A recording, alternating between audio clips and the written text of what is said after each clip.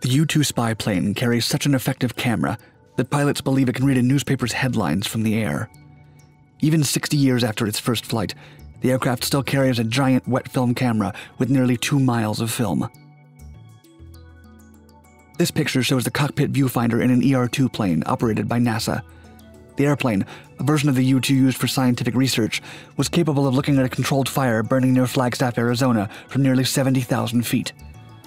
Such a powerful camera has not only come handy for military missions, it has also been useful for researching climate change and flying over hurricanes.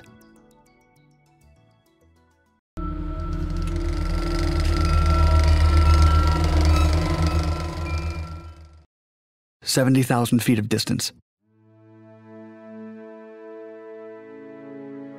After World War II, the United States was looking for an aircraft that could improve their aerial reconnaissance and couldn't be reached by Soviet air defenses. The Lockheed U 2 was first proposed in 1953 as a spy plane that could fly day or night through any weather conditions at a high altitude of almost 70,000 feet. The aircraft flew for the first time in 1955, and ever since, it has been part of some of the major conflicts involving the US. It's been 60 years since its first flight, and the updated U 2 remains in frontline service.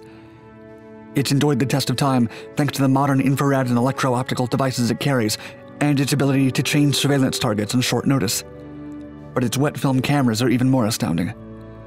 Located at the belly of the airplane and as big as a film projector, they can distinguish objects as close to 8 inches to as far as 70,000 feet apart. They also provide high resolution images that allow the pilot to see anything 250 miles in any direction. Major Travis Lefty Patterson, a U 2 pilot, has said the fidelity of the camera is so good that, quote, if somebody is holding a newspaper out, you can probably read the headlines. The cameras and satellite sensors on the plane have also come in handy for humanitarian missions. U 2 aircraft provided imagery of floodwaters after Hurricane Katrina struck New Orleans in 2005. It also documented the aftermath of the massive 2010 earthquake in Haiti. To this day, a 30 plane fleet is flown by U.S. Air Force pilots for combat missions over Afghanistan, Syria, and Iraq. There, it has been used to hunt improvised explosive devices hiding in roadsides and helicopter landing areas. This allowed the Marines to detonate nearly 150 mines in Afghanistan. Thanks to the U 2's high resolution photographs, they were also able to track insurgent footpaths and identify the spots where they are most vulnerable. An aircraft for science. The U 2 has been very valuable for scientific research. A version of the plane, the ER 2, has been operated by NASA's Airborne Science Program since 1971. In 1998, it set a world record for reaching an altitude of 67,190 feet in horizontal flight. Currently, two ER2s are used by NASA as mobile laboratories, thanks to their ability to fly into the lower stratosphere at subsonic speeds. They've made notable contributions to science with digital multispectral imagery for global climate change research and aerial photography. Through its missions with NASA, the ER 2 helped discover that human made chemical compounds provoked ozone depletions over the Antarctic region. The aircraft has also been invaluable for studying hurricanes, tracking their intensification and landfall impacts.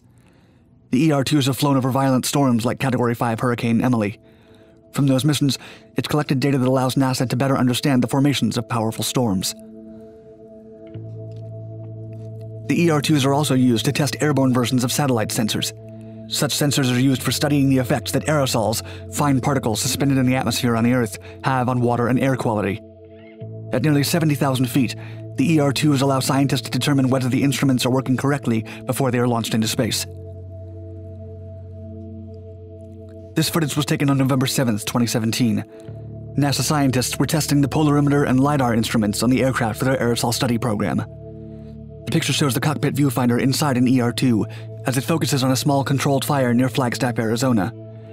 The instruments in the aircraft are handy for observing wildfires and volcanic eruptions. From those observations, scientists can study aerosols in different conditions. In search of an algorithm. In only one flight, the U 2 can generate a two mile long roll of film.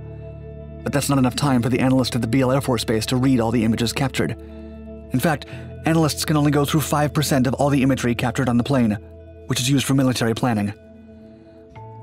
Since 2018, Air Force experts have been working with students from Stanford University to develop an algorithm that helps analysts go through all the images taken by the aircraft. With the help of artificial intelligence, it would be able to count the exact amount of vehicles, buildings, and people in a specific location. With the help of an algorithm, the crisp images taken by the U 2s could help analysts have more time for planning military strategies.